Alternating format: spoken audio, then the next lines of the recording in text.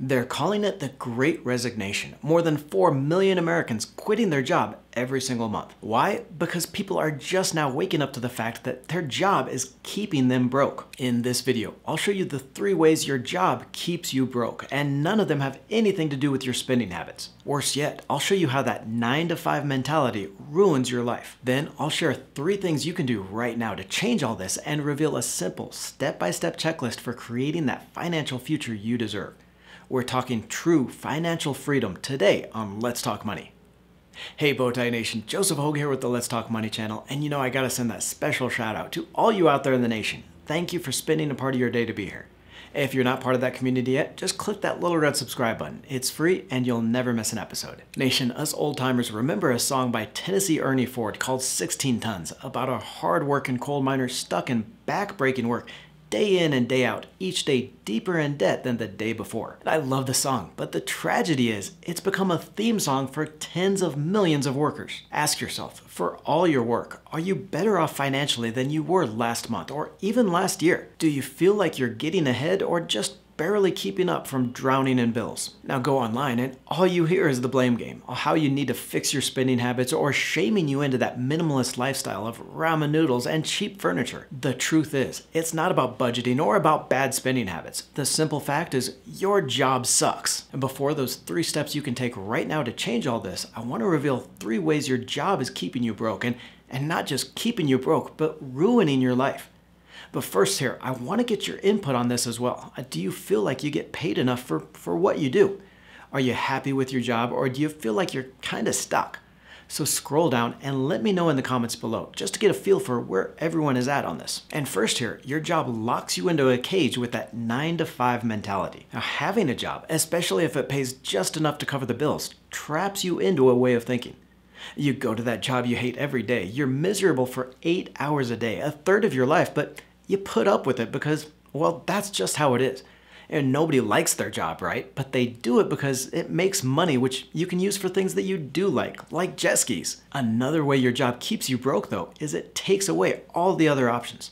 The longer you stay in that job, the harder it is to transition into something else, something you might actually enjoy. Employers are going to see 15 years as a sewer inspector and Wonder if you have the skills necessary to be in the FBI. Wait, not that FBI. You can't just quit your job because you need the money, but every day you stay makes it impossible to do something else. And finally here, before I show you how to change all this, but that traditional job takes away all the control and the earning power out of your hands. Your boss sets the wage and the hours. They tell you how much of a wage increase you get each year, if any, and they tell you how to do the job that safety of the 9 to 5 is nice, but most people just don't realize what they give up in exchange. They lock the door to their own cage. And because how much you work means nothing to how much you make, you just stop working. You become a desk zombie because it really doesn't matter anyway.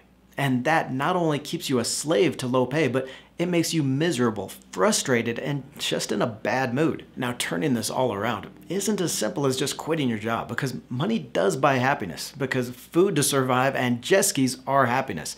So you need to make money, but there is a way to do that. So let's look at the three things you can do right now to break out of that nine to five mentality. First is to start creating opportunities in your current job. And this might not sound like a break from where you're at, but it's gonna be critical to the rest of this plan and, and the checklist to quitting that I'll share later. The idea here is to map out the career paths at your current job or even within the broader industry, whether it's at your company or a competitor. Is there a place you can go where you're gonna enjoy the work and get paid better? And you can do this no matter where you work. Maybe you're flipping burgers now, but you'd rather be running the company. Howard Putnam started as a baggage handler at 17, and now he runs Southwest Airlines. Walmart CEO Doug McMillon started loading trucks at the distribution center earning $6.50 an hour.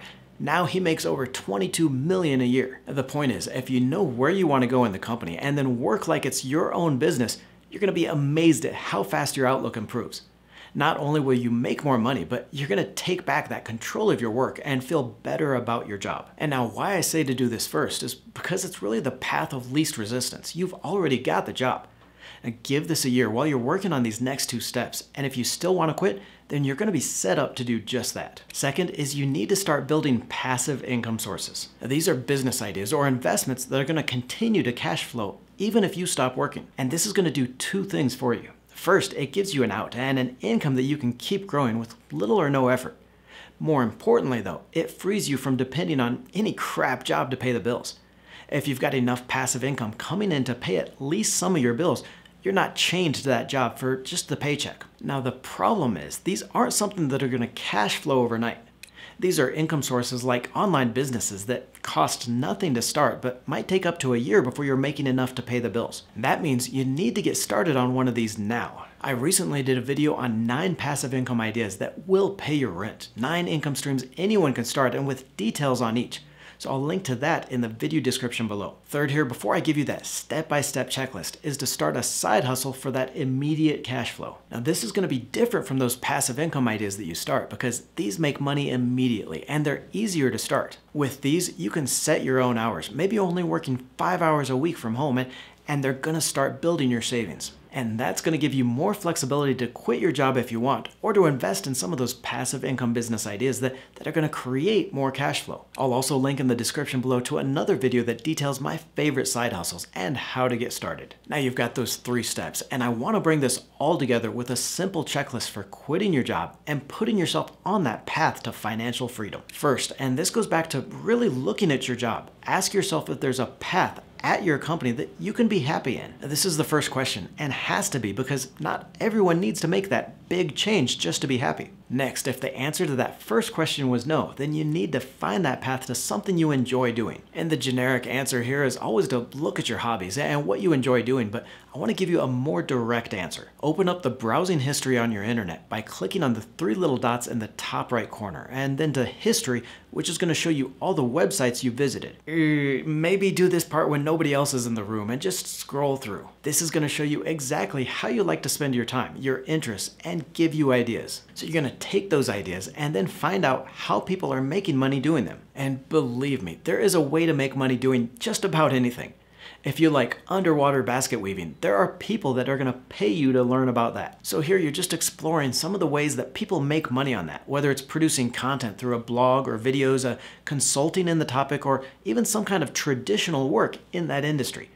Your path might even start with a lower paying job just to get you in that field you enjoy, but this is where those other steps, the passive income and the side hustles is gonna help you do that. Fourth here is gonna be revisiting those passive income and side hustle ideas. Starting over in a new job or a completely different field doesn't have to mean living off ramen noodles or moving back in with your parents. Remember, you're doing this over a year, which may seem like a long time if you absolutely hate your job, but a year is nothing if it means you can change your life and be happy. And finally, that year is going to give you the time to become an expert in this new area. New research has debunked the idea that you need 10,000 hours of practice to master something, but you still want to hit the ground running when you get started. For mastering any subject, focus on those different levels of learning. Now that means first reading about it, then being able to explain it in your own words, and finally thinking critically. This is going to involve not just that passive, but active learning and critical thinking. Click on the video to the right to get started with those nine passive income ideas, nine income streams that are going to pay your rent. Don't forget to join the Let's Talk Money community by tapping that subscribe button and clicking the bell notification.